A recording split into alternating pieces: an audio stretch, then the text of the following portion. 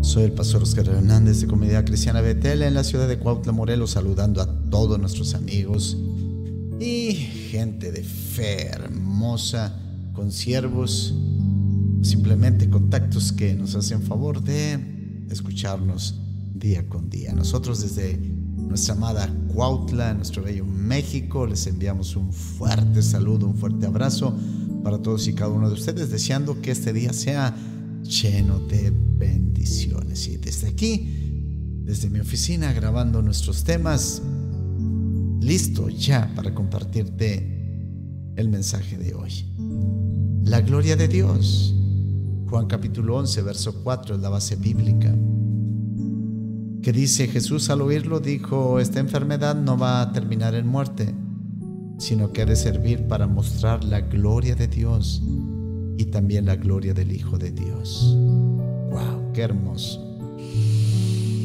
Estando en mi tiempo con Dios, tuve, como es habitual en mí, el interceder por las necesidades personales, de familia, de iglesia, de mi ciudad.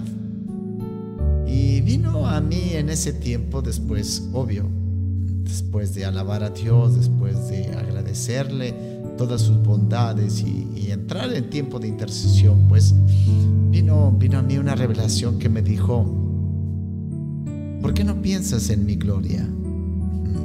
Ya te ocupaste en todas las circunstancias que te rodean en tu humanidad, pero deja que mi gloria se manifieste en ti y en todo lo que te preocupa.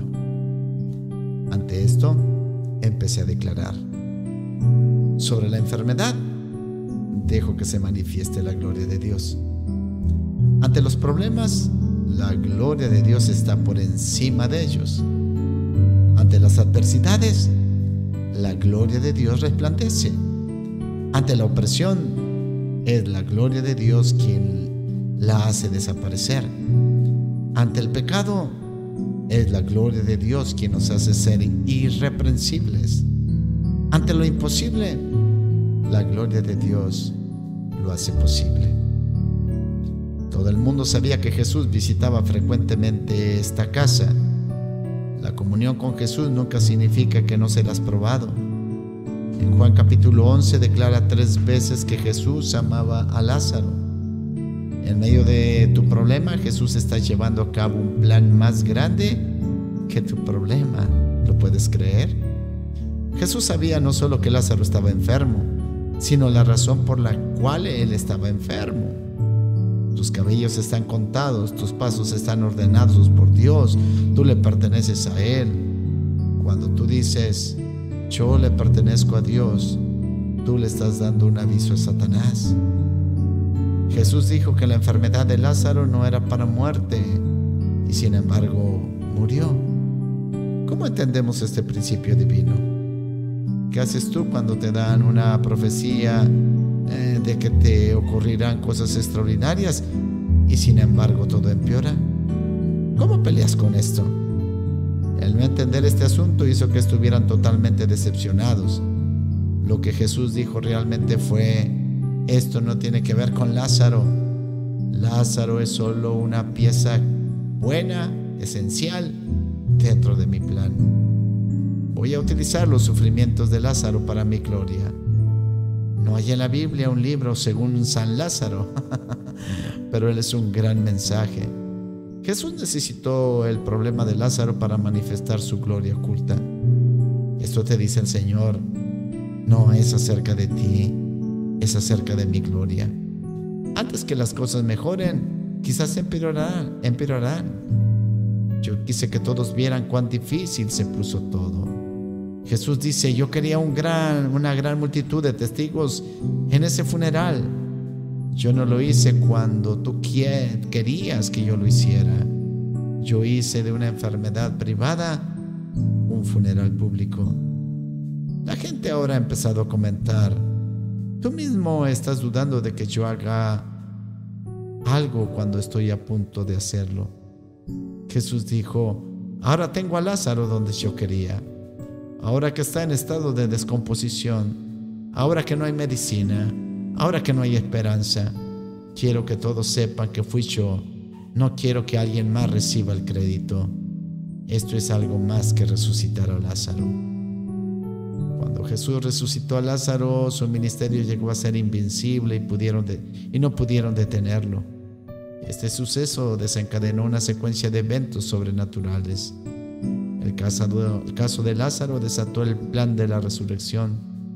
Tienes que entender que el problema que estás atravesando no es acerca de ti, sino es acerca de su gloria. ¿Puedes creerlo? Conclusiones. No hay días malos, solo días en los que tenemos que aprender a confiar más en Dios y ver su gloria en medio de nosotros. No hay problema que Él no pueda resolver, solo espera que le dé la oportunidad de manifestar su gloria y poder. Dios nos enseña que las mejores cosas ocurren cuando es manifestada su gloria. No se trata de ti o de mí o de nuestras circunstancias se trata de su gloria. Por eso me encanta declarar siempre Sofonías capítulo 3, verso 17. El Señor tu Dios está en medio de ti, guerrero victorioso, se gozará en ti con alegría, en su amor guardará silencio, se regocijará por ti con cantos de júbilo. Reflexiona. El cielo proclama la gloria de Dios y lo hace en referencia a dar honra y honor. ¿En tu vida la gloria de Dios tiene esa honra? Ante cualquier cosa imposible, la gloria de Dios lo hace posible. ¿Sientes la gloria del Eterno en aquellas circunstancias que son difíciles en tu vida? Jesús necesitó el problema de Lázaro para manifestar su gloria. ¿Estás dispuesto a ser usado para la manifestación de la gloria del Padre? Wow, vaya tema, de verdad que me entusiasma la gloria, la gloria de Dios. ¿Por qué no? ¿Por qué no dejamos un poco, un mucho nuestras preocupaciones, nuestras aceleraciones, nuestras congojas, pensar tanto a lo mejor en los peligros, en las enfermedades, en la pandemia, en cosas semejantes? ¿Por qué no dejamos un tiempo fuerte, poderoso y vemos descender la gloria de Dios sobre nosotros? Sí, aunque tú me digas, es que yo estaba esperando y la cosa está peor, la cosa se puso color de hormiga.